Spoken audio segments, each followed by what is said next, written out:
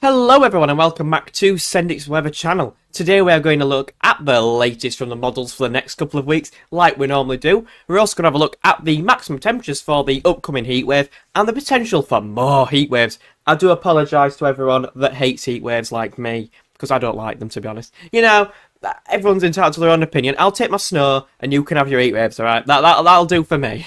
Um, I know there's a few of you out there as well, like me, that might not like heat waves, and some of you love heat waves. You know, there's there's different uh, viewpoints out there. I'm just one of the people that likes my 24 degrees. That's perfect for me. But if you like your 35 degrees, this is good for you. and then the unsettled weather may be on the way, but we'll have to wait and see what they're showing today. Enough rambling, let's get on. So if you did enjoy today's video, consider leaving a like and subscribing to the channel. We're on the road to 1.8k subscribers. Um, we're about 40 away. So um, please consider leaving a like and subscribing to the channel as always.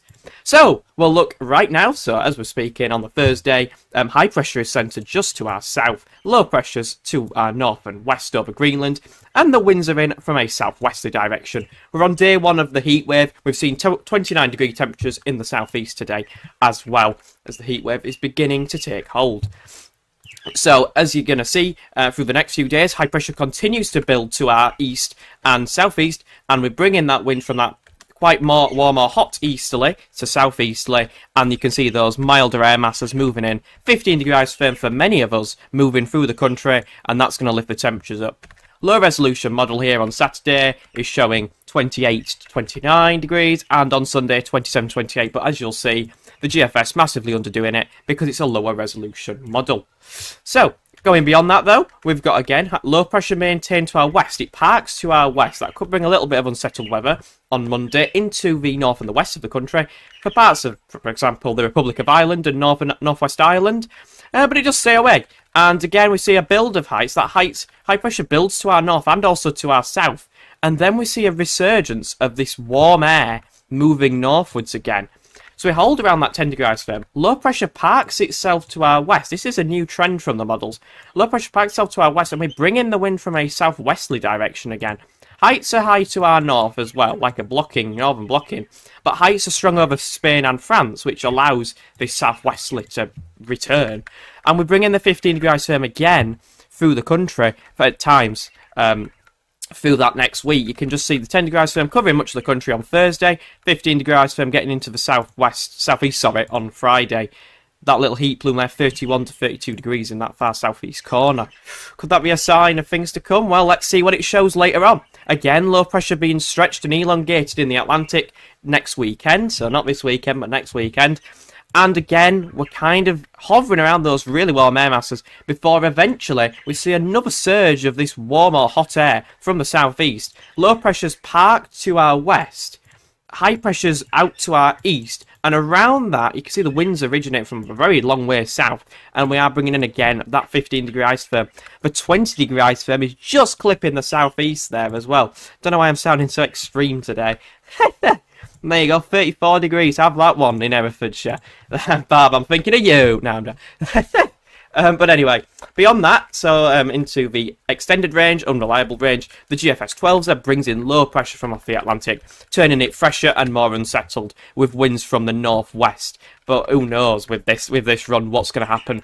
Um, because you know, look at that cool pool by the end of the run to our northeast. But who knows if that's going to develop?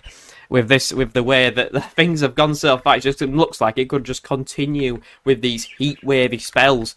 The heat wave threshold was actually met today in parts of Yorkshire and the Midlands and the southeast, of course, um, today. So um, that's going to continue for the next few days. If we get three days, that's considered a heat wave. So um, we'll have to just see how things develop with that. How does the GEM compare? Let me move the screen so you can see it. Again, high pressure again centered to our um, east and southeast. Winds in from the east this weekend. Through into the weekend, you can see that low pressure parked to our west, and that's just allowing this east or southeasterly wind to form, bringing in this warm air, hot air, 15 degree isotherm covering the country through Saturday and through into Sunday as well.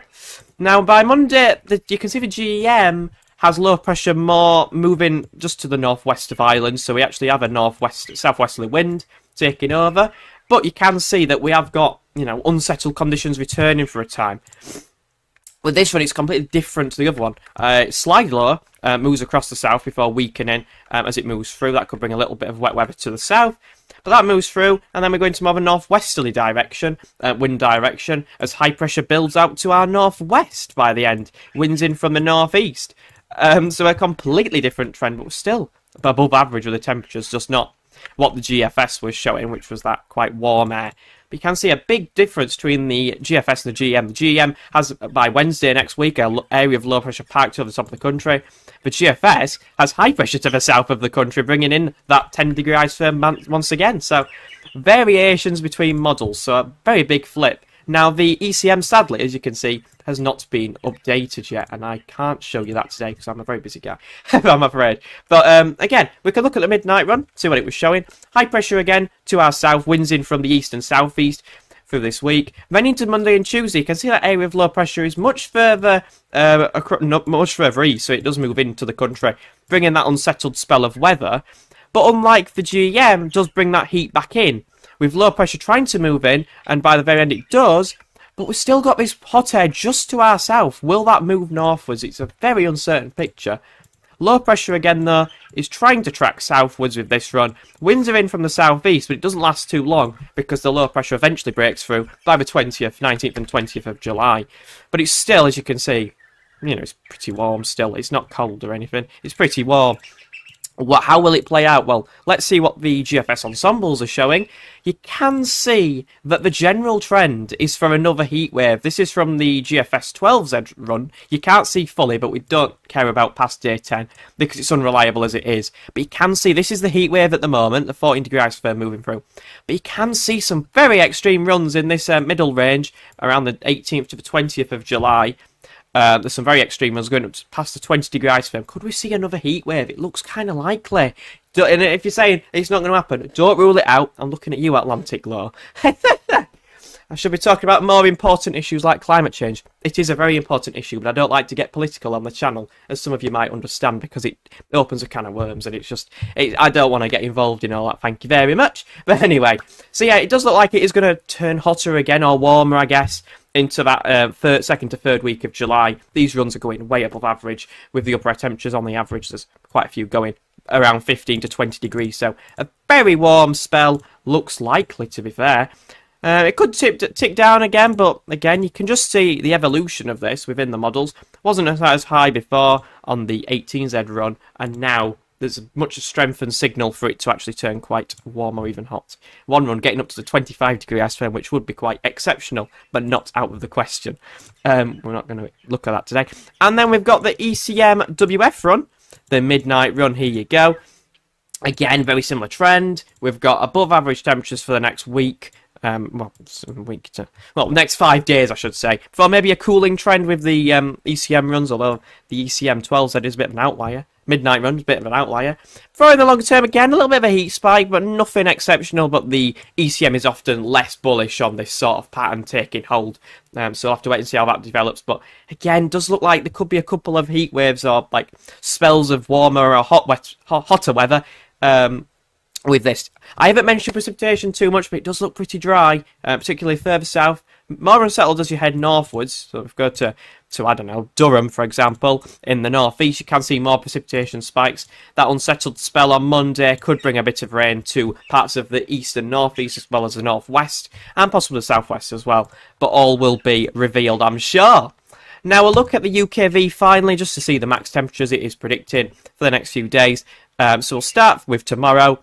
Tomorrow it could reach highs of 30 degrees quite widely for the Midlands southwards, um, even into parts of the northeast as well. Um, further north and west, of course, it is a little bit cooler, and along the coast as well. For example, Scarborough is going to be 21 degrees tomorrow. Don't know why I've picked out that place as random. Probably somewhere I used to love uh, visiting when I was younger. But anyway, yeah.